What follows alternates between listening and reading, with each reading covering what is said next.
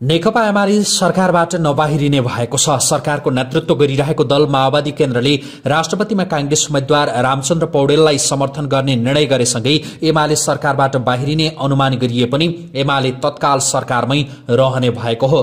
पुष दशको सहमति अनुसार आफ्नो पार्टीका तर्फबाट राष्ट्रपति पदको उम्मेद्वारका रूपमा पूर्व सभामुख सुभाष चन्द्र नेवाङलाई अघि सार्ने निर्णय गरेको एमाले उपमहासचिव पृथ्वी सुब्बा गुरूङले जानकारी दिए। एमाले तत्काल सरकारबाट नबाहिरिने बताउँदै उनले कांग्रेस बाहेकका दलहरूलाई आफ्नो पार्टीका तर्फबाट राष्ट्रपति पदका उम्मेद्वार रहेका सुभाष चन्द्र नेवाङलाई समर्थन गर्न पत्रचार गर्ने समेत बताए। सचिवालयको सत्रौँ बैठक भर्खरै सम्पन्न भएको छ। अहिलेको जल्दो बल्दो विषय आज निरूपण गर्नुपर्ने विषय। राष्ट्रपतिको उम्मेद्वारको बारेमा के गर्ने भन्ने चाहिँ आजको हाम्रो बैठक मुख्य एजेन्डा थियो। हाम्रो पार्टीको सत्रौँ सचिवालयको सत्रौँ बैठकले राष्ट्रपतिको उम्मेदवारमा पुष दस गते गठबन्धनको बिचमा भएको सहमति अनुसार नेकपा एमाले आफ्नो तर्फबाट राष्ट्रपतिको उम्मेदवारमा सर्वसम्मत रूपले हाम्रो पार्टीको उपाध्यक्ष पूर्व सभामुख संविधान सभाको अध्यक्ष माननीय सुभाष चन्द्र नेमाङलाई चाहिँ राष्ट्रपतिको उम्मेदवार बनाउने निर्णय गरेको छ। र उहाँ उहाँलाई समर्थन गर्नको लागि नेपाली कङ्ग्रेसको आफ्नै उम्मेदवार भएको हुनाले नेपाली कङ्ग्रेस बाहेक अरू सम्पूर्ण पार्टीहरूलाई आजै हामीले सहयोगको लागि पत्राचार गर्ने सहयोगको अपेक्षा गर्ने र निरन्तर पच्चिस गतेसम्म यो काम चाहिँ जारी रहन्छ भन्ने कुरा यहाँबाट जानकारी गराउन चाहन्छु। अब यो के हुन्छ भने पच्चिस गतेसम्म राष्ट्रपतिको चयनको चाहिँ मिति भएको हुनाले त्यो बेलासम्म हामी चाहिँ यो गठबन्धन नै यही चाहिँ तपाईँको पुस दस गतिको जे सहमति भएको थियो त्यो सहमति अनुसार नै हामी अगाडि बढ्ने चाहिँ निर्णय गरेका छौँ। सरकार त त्यही भइहाल्यो नि। सरकारको तर्फबाट अहिले सरकार चाहिँ फाल्ने कि बस्ने कि घटाउने कि राख्ने कि बस्ने भन्ने विषय भयो भने अहिले राष्ट्रपतिको विषय भएको हुनाले राष्ट्रपतिमा हामीले मैले फेरि पनि दोहोऱ्याउन चाहेँ। पुस दस गतिको के अरे सहमति अनुसार हाम्रो पार्टीको तर्फबाट नै राष्ट्रपतिको उम्मेदवार दिने निर्णय गरेका छौँ हामीले। अनि आठ दलीय गठबन्धन त बनेकै छैन नि त्यहाँ सहमति सामान्य बसेर प्रोग्रामिङ गरे न हो। डकुमेन्टेसन भएको छ र त्यस्तो केही भएको छ र सहमति भयो। यो चाहिँ पुरानो गठबन्धन टुट्यो भने प्रश्न आएको छ र आएको छैन नि। यो तपाईँले बनाएको क्वेसन मात्रै हो। हजुर। अब घटनाक्रमलाई कसरी हेरेको छ भन्ने कुरो आजको हाम्रो निर्णयले जे प्रतिक्रिया दिएको छ त्यही त्यही हो नि। हामी चाहिँ पुस दशकको निर्णयमै अडिनुपर्छ त्यसैको आधारमा चाहिँ हामीले क्यान्डिडेट चाहिँ दिनुपर्छ त्यसैको आधारमा चाहिँ राष्ट्रपति चयन गर्नुपर्छ भन्ने हो। पुस यो पछि पच्चिस गतेसम्म यो यो कुरामा चाहिँ हामी सबै कङ्ग्रेस बाहेक अरू दलहरूलाई चाहिँ सहमतिमा ल्याउने प्रयत्न गर्छौँ हामी।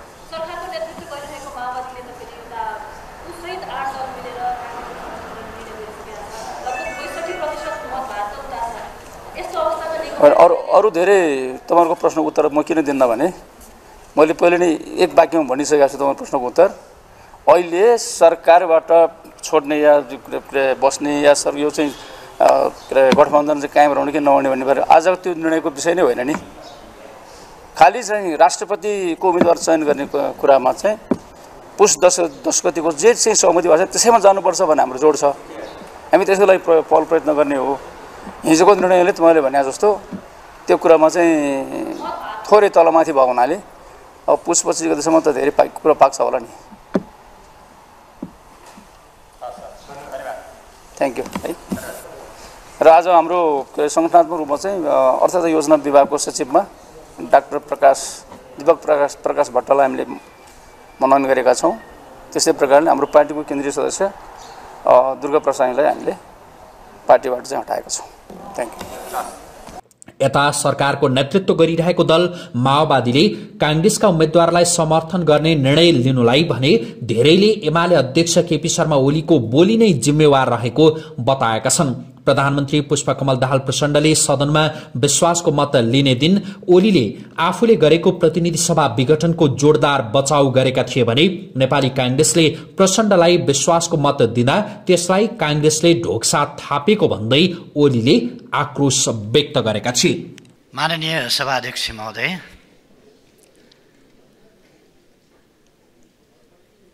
आज हामी यहाँ सम्माननीय प्रधानमन्त्री पुष्पकमल दाहालले आफूमाथि प्रतिनिधि सभाको विश्वास छ भन्ने कुरा का निम्ति? विश्वासको मत माग्ने प्रस्ताव राख्नुभएको छ र त्यसमाथि छलफल गरिरहेका छौँ। यस छलफलको सन्दर्भमा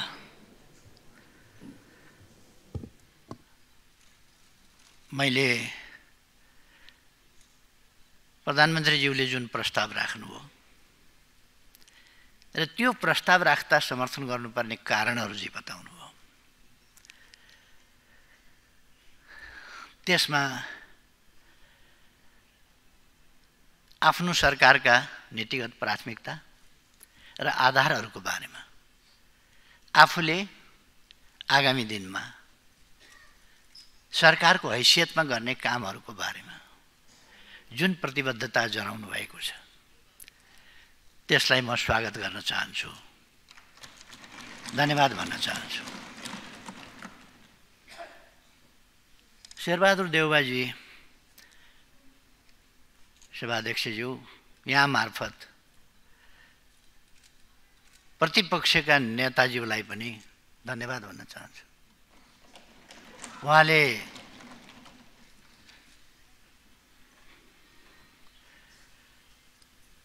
सरकारको समर्थन गर्नुभएको छ।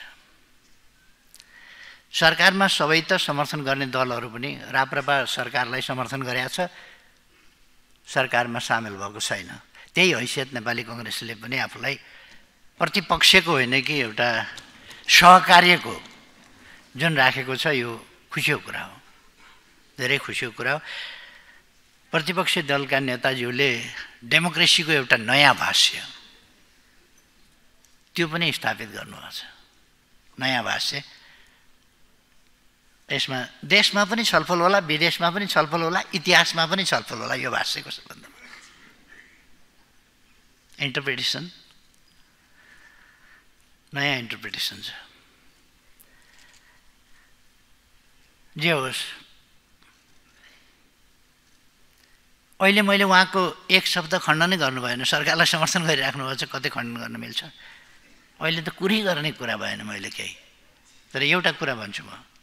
पन्ध्र सालमा संसद बन्यो सत्र सालमा संसद विघटन गर्ने राजा महेन्द्र हुन्। म होइन। अडचालिस सालमा निर्वाचन भयो एकाउन्न सालमा संसद विघटन गरेर मध्यावधिमा जाने नेपाली काङ्ग्रेस हो म होइन। गुरुजी आफूले गरेका कुरा। कतिपल्ट संसद विघटन गरियो कतिपल्ट के भयो?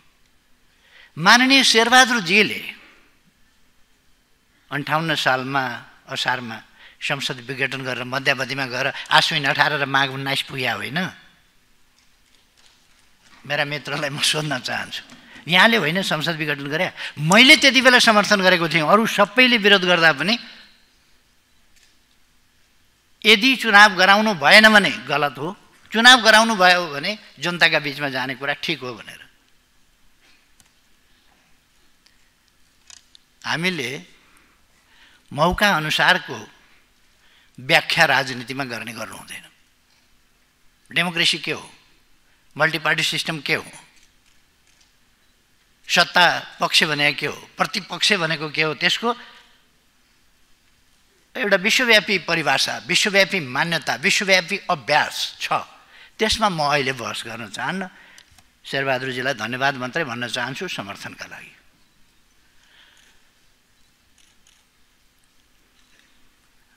म पनि विश्वासको मत दिनुहोस् भनेर मागौँला भन्दै थिएँ। मैले हिजै बोल्दाखेरि पनि भनेको थिएँ।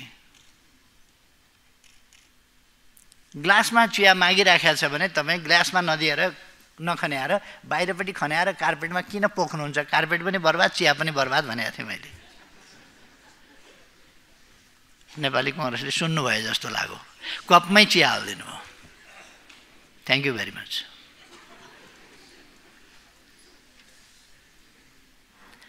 वास्तवमा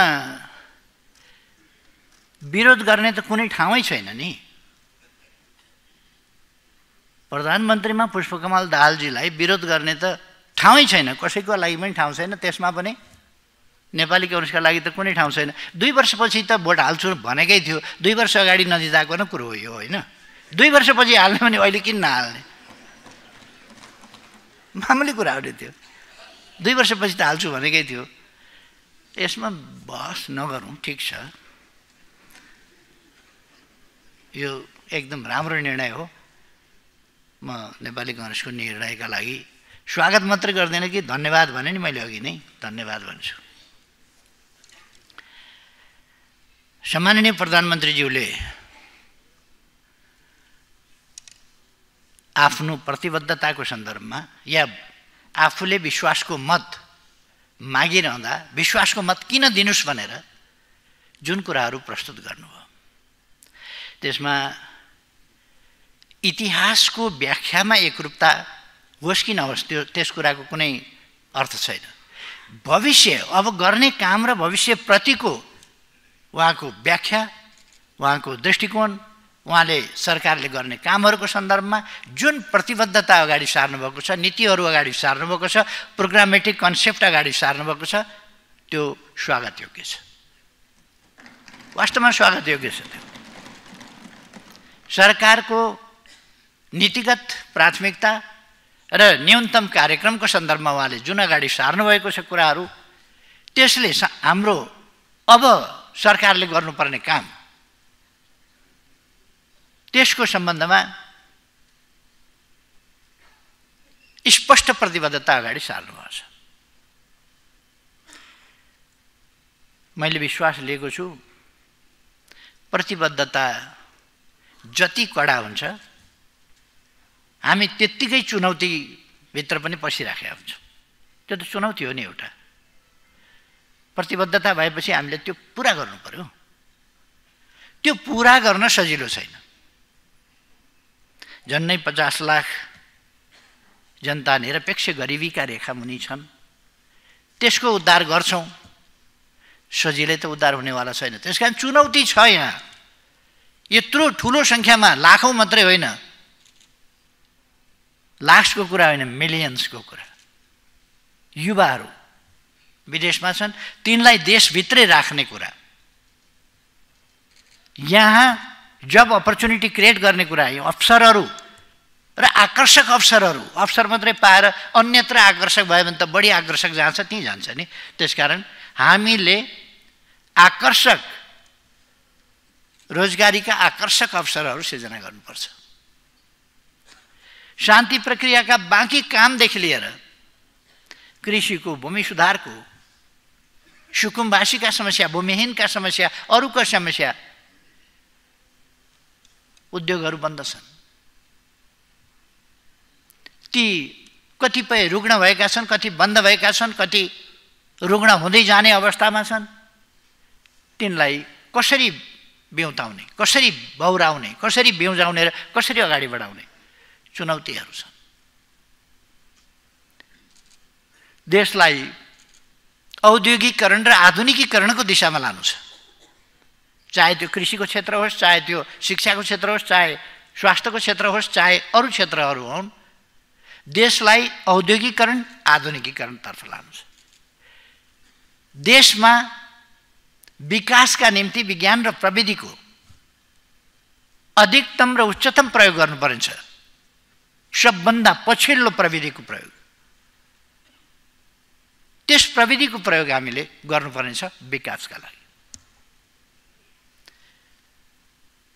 सुशासन कतिवटा प्रश्न आफूले सचिवहरूसँग उठाएको कुरा प्रधानमन्त्रीले यो सन्दर्भ उठाउनु भयो मैले यी यी प्रश्नहरू सोधेको छु।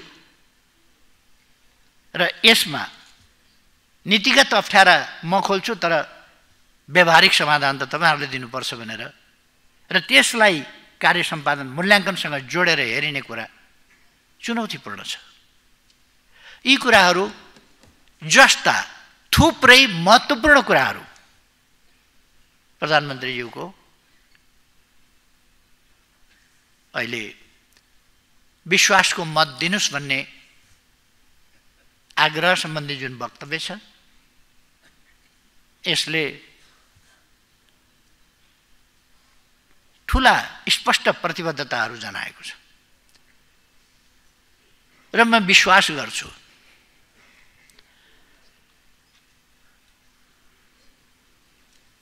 आज त प्रधानमन्त्रीज्यूको वक्तव्य विपक्षी दलका नेताको भन्दा धेरै बढी क्रिटिकल एप्रोचका साथ छ।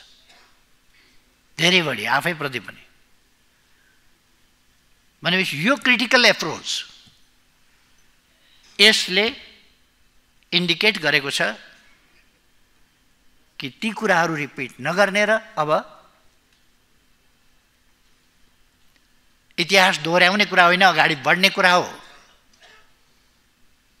अब ती हिजोका कमी कमजोरीहरू अहिले समाजमा रहेका विद्यमान कमी कमजोरीहरू तिनलाई हटाएर अगाडि बढ्ने। यस सम्बन्धमा जुन कमिटमेन्ट प्रधानमन्त्रीजीले गर्नुभएको छ त्यो अत्यन्तै आशलाग्दो खालको छ।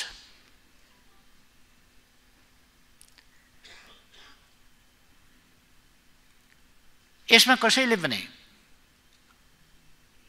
असहमति जनाइरहनु पर्ने आवश्यकता छैन। त्यस कारण म आफू त माननीय सम्माननीय प्रधानमन्त्री पुष्पकमल दाहालजीको प्रस्तावमा समर्थन गर्छु नै। मेरो दलको तर्फबाट समर्थन गर्छु नै। अरू दलहरूलाई पनि स्वतन्त्र माननीय सांसदज्यूहरूलाई पनि सबैलाई पनि आग्रह गर्छु। त्यसमध्ये प्रमुख प्रतिपक्ष नेपाली काङ्ग्रेसले समर्थन जनाइसकेका छ। यदि यो समर्थनभित्र सदाशयता बाहेक अरू कुरा छैन भने। यदि यो समर्थन कुनै जाल होइन भने यो समर्थन कुनै ढोक्सा होइन भने स्वागत योग्य छ? ढोक्सा हो भने म भन्न चाहन्छु जाल हो भने म भन्न चाहन्छु माछा नभएको खोलामा फ्याँके जस्तै हुनेछ जाल। केही यसभित्र भोलिका निम्ति अरू खालका कुराहरू सोचिएको छ भने ढोक्सा रित्तै हुनेछ किनभने त्यस खोलीबाट पानी त्यस पानीबाट त्यस खोल्सीबाट त्यो ढोक्सा थापेतिर कुनै माछा बग्नेवाला छैन। त्यसर्थ तर मैले विश्वास गरेको छु नेपाली काङ्ग्रेसले पनि त आफै अन्तिम पटक संसद विघटन गरेर प्रतिगमनमा पुर्याएर माघ उन्नाइस पुर्याएको सम्झिएर प्रति संसद विघटन भनेपछि प्रतिगमन ठान्नुहुन्छ झस्याङ्ग हुने नि। सधैँ त्यस्तो हुँदैन। सधैँ त्यस्तो हुँदैन। संसद संसदीय प्रणालीमा संसद बेलायतमा पनि भङ्ग हुन्छ इन्डियामा पनि हुन्छ जापानमा पनि हुन्छ इजरायलमा पनि हुन्छ अन्यत्र पनि हुन्छ। कोही कोही देशमा जस्तो अमेरिकामा यति तारिक यस गते यो महिनाको यो सालको चारले भाग गर्दाखेरि बिस चौबिस अठाइस बत्तिस चारले भाग गर्दाखेरि जाने वर्षमा नोभेम्बरको यति तारिकमा निर्वाचन यो यो नोभेम्बर महिनाको यतिौँ मङ्गलबारमा संयुक्त राष्ट्रसङ्घको बैठक यतिौँ मङ्गलबारमा हुन्छ सुरु भन्ने निर्धारित हुन्छ। अमेरिकी राष्ट्रपतिको निर्वाचन यति तारिक यो बार यस्ता कुराहरू निर्धारित हुन्छन् त्यो संविधानमै हुन्छ। अनि संविधानमा कहाँले नेरी लेख्या छ भन्ने हो भने बेलायतमा संविधानमा लेख्दै लेख्दैन त। अभ्यासबाट चल्या हुन्छ। पार्लियामेन्ट्री सिस्टम अभ्यासबाट परम्पराबाट। लेखेको छैन भने अगाडि के भएको छ भनेर हेर्नुपर्छ। मैले त शेरबहादुरजीले के गर्नुभएको थियो भनेर पो हेरेँ त। झन् गुरु मान्दाखेरि हमला।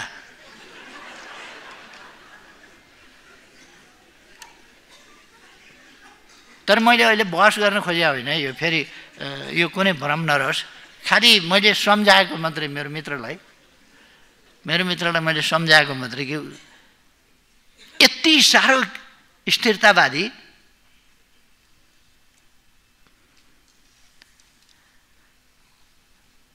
त्यतापट्टि नजाउँ। मैले अहिले धेरै केही भन्नु छैन। म सबै सबै दलहरू सबै दलसँग आबद्ध सम्बद्ध माननीय जीवहरू र स्वतन्त्र जीवहरूलाई पनि आग्रह गर्न नेपाली काङ्ग्रेसले त समर्थन गरिसक्यो भने राष्ट्रिय नै भइसक्यो नि यो त अब।